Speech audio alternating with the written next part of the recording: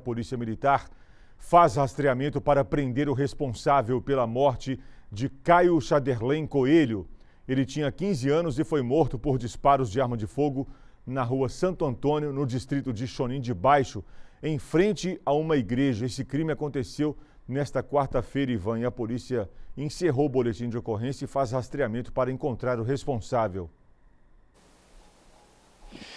Pois é, Saulo, o Caio Chaderlen Coelho ia para a escola quando foi assassinado. De acordo com o boletim de ocorrência, os suspeitos de cometerem este crime estavam numa igreja. Eram dois suspeitos.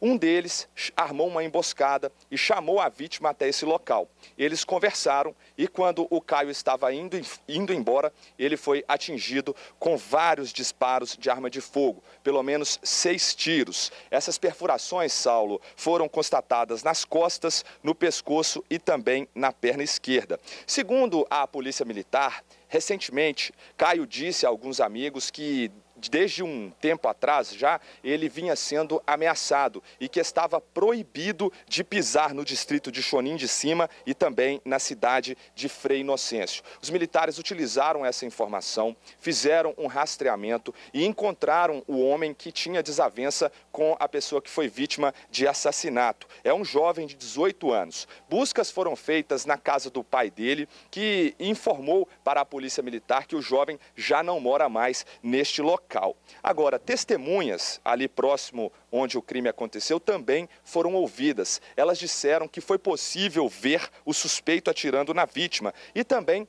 relataram a identidade deste outro homem que estava presente na hora do crime e que eu contei aqui no início dessa entrada ao vivo. Diante dessas informações, a Polícia Militar descobriu então quem é o primeiro suspeito e também este segundo suspeito que presenciou os fatos. Durante o patrulhamento, os militares conseguiram então recolher alguns materiais que irão ajudar a polícia a desvendar o que de fato houve neste crime. Esses materiais foram recolhidos, Saulo, em um pasto, uma área de pastagem, área verde, próxima ao local onde o assassinato aconteceu e que, segundo testemunhas, diz o boletim de ocorrência, foi por onde os suspeitos passaram depois do ato. Essa é uma ocorrência que tem muitos detalhes, ela demorou inclusive para ser divulgada até pelo nível de apuração, mas hoje nós conseguimos trazer aqui no MG Record o que de fato houve né, neste assassinato de uma adolescente de 15 anos de idade e a motivação, ainda segundo o registro policial,